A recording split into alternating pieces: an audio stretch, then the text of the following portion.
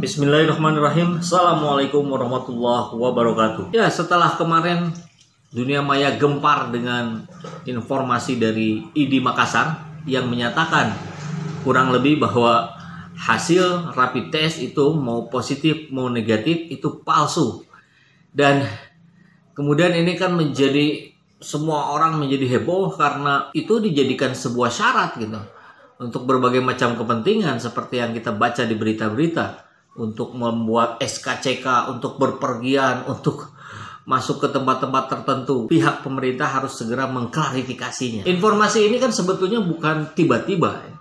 karena sejak awal pun beberapa ahli kesehatan sudah menyampaikan bahwa penggunaan dari rapid test itu dianggap tidak efektif.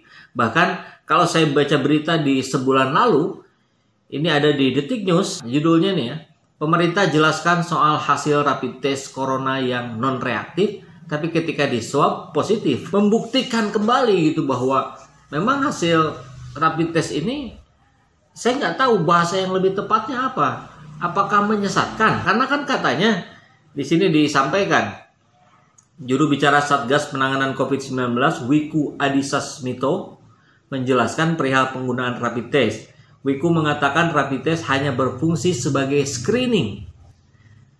Nah, screening kan biasa dipakai di awal ya, tahapan awal untuk menyeleksi. Nah, bagaimana ini bisa difungsikan sebagai screening ketika hasilnya justru tidak bisa dijadikan sebagai acuan? Rapid testnya reaktif, kemudian swabnya negatif. Tapi juga ada katanya yang hasil rapidnya negatif, tapi ketika di swab jadi positif. Nah terus fungsinya apa sebagai screening ini sebelah mana gitu? Wiku mengatakan rapid test tidak bisa dijadikan acuan untuk mendiagnosis seseorang terpapar COVID-19. Rapid test kata dia harus disertai tes corona lanjutan seperti PCR. Dengan informasi yang selintas ini saja saya kira fungsi dari rapid test sebagai screening pun sudah tidak layak untuk dipakai. Nah pertanyaannya kemudian, kenapa itu masih digunakan? Kenapa itu masih dijadikan sebagai alat untuk prasyarat tertentu berbagai kebutuhan kita di hari ini. Kalau saya baca juga di komentar-komentar video sebelumnya tentang hasil rapid test ini palsu, maka bermunculanlah juga sahabat-sahabat yang sudah pernah melakukan rapid test, ada yang 300 ribu, ada yang di atasnya, ada yang di bawahnya.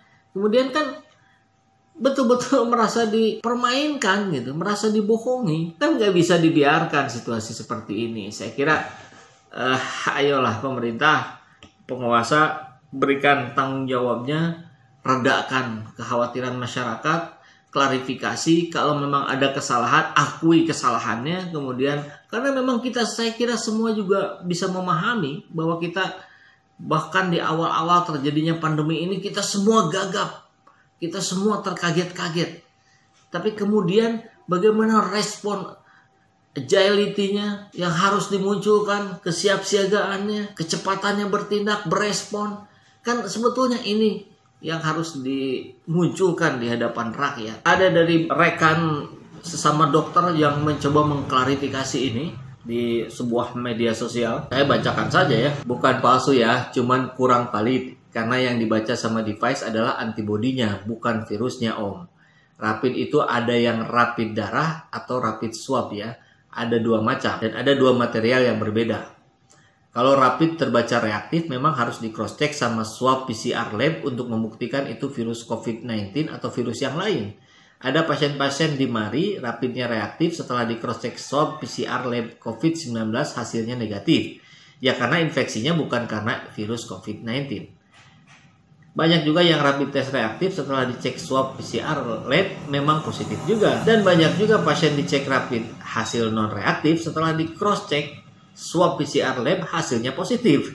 Dan kalau kayak gini aku misuh wedus karena posisi hanya pakai APD level 2. Setelahnya banyak-banyak doa. Oke, semoga selamat kagak ketular aku. Tapi seenggak-enggaknya dengan rapid test sudah cukup membuat waspada para nakes yang kedatangan pasien yang suka bohong. Aku pribadi ya lebih menghargai pasien-pasien yang jujur ketimbang yang otaknya konslet dan suka denial juga. Ada loh pasien dikasih tahu COVID positif tapi denial bilang nggak mungkin. Padahal suaminya udah sentik-sentik di ICU pakai ventilator. Ya data ini makin menguatkan kan bagaimana ketidakakuratan rapid test untuk mendeteksi awal Jadi fungsinya sebagai pendeteksi awal saja, bukan untuk mengukur seseorang terpapar COVID-19 atau tidak, tapi sebagai screening awal untuk dilanjutkan ini PCR atau tidak, itu pun sudah tidak bisa berlaku. Kan gitu. Kenapa? Karena buktinya kan jelas tadi. Ada yang rapid testnya reaktif, tapi swabnya positif. Ada yang rapid testnya positif, swabnya negatif. Nah terus di mana sisi akurasi ini bisa dipakai sebagai alat screening? Maka saya kira segera saja ditarik rapid test ini kalau ada perhitungan bagaimana ini sudah keluar sekian miliar segala macam. Ya, terus ini mau dilanjutkan untuk menampilkan data-data palsu kepada orang-orang yang sudah di rapid test kan nggak masuk akal. Saya kira itu urusan lain, soal lain bagaimana mungkin alat itu nanti bisa digunakan untuk keperluan yang lain karena kan saya kira kita juga tahu bahwa alat-alat itu kan memang sudah ada sebelum pandemi corona ini terjadi.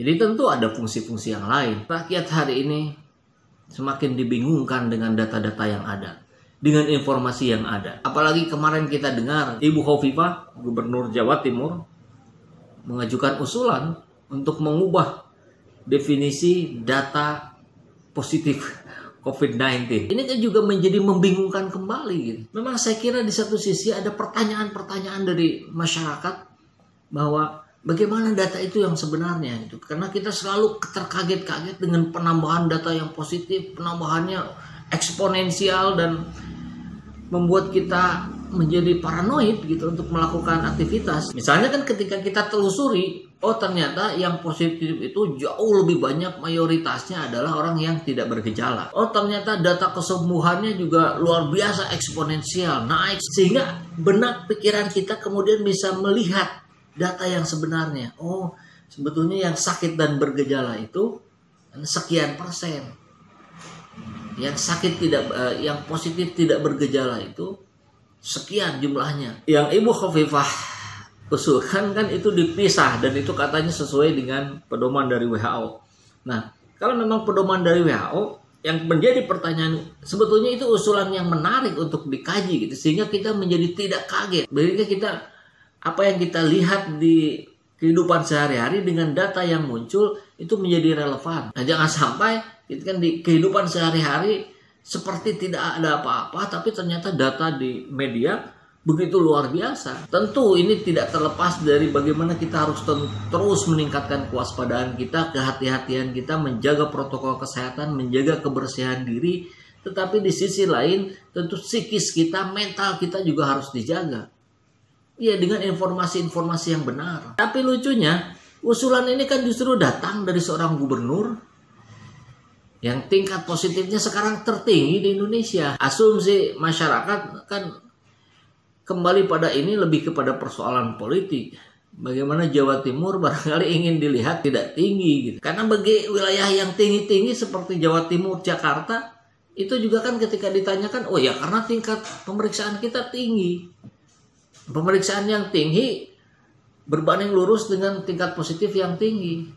Daerah-daerah yang pemeriksaannya rendah, positifnya juga rendah. Nah, rakyat menjadi dibingungkan kembali gitu. Bagaimana usulan dari seorang gubernur yang terkaitnya lebih kepada kesehatan, yang lebih tepatnya ini dibahas atau dimunculkan justru oleh Kementerian Kesehatan atau malah ID. Mungkin kalau ID Jawa Timur itu kan lebih masuk akal kalau yang berbicaranya dari ID Jawa Timur. Tapi kalau yang bicaranya posisi gubernur ini kan menjadi pertanyaan karena gubernur posisinya yang posisi yang politis. Kayak kemudian menjadi terbelah lagi masyarakat. Bagaimana yang pro dengan Hovifah mengatakan bahwa iya data saat ini sebetulnya salah kita ini terlalu ditakut-takuti dengan pendataan yang salah. Padahal realitanya tidak seperti itu. Kita harus tetap waspada tapi kita juga jangan ditakut-takuti. Nah, yang tidak setuju dengan Hovifah tentu ini apa-apaan gitu ini kok cara menurunkan data yang sangat tidak masuk akal. Bagaimana penurunan data positif itu bukan diturunkan betul-betul yang positifnya, tapi diturunkan angkanya, diturunkan data statistiknya. Ini kan pembicaraannya bukan kepada solusi gitu, tapi pada upaya bagaimana agar Jawa Timur tidak menjadi yang tertinggi. Kan begitu persepsi publik melihat. Marilah kita bicara pada hal-hal yang to the point. Bukan membicarakan yang aneh-aneh yang macam-macam kemudian itu menjadi upaya-upaya untuk mengaburkan hal-hal yang semestinya dimunculkan ke masyarakat